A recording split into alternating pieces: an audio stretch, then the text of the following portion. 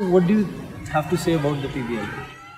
PBL is uh, event which is which takes place every year in India, and uh, they have a, a particular time where uh, when it takes place. Uh, the dates are given by the BWF uh, for this particular tournament, and PBL is uh, the kind of a tournament where we have you know matches being played all over India.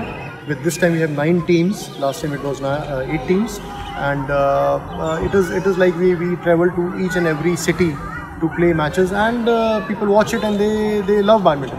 So it is more of a, you know, it's like it, it, that, that, that's the way the badminton is encouraged in all over India. So it's a very, very important event.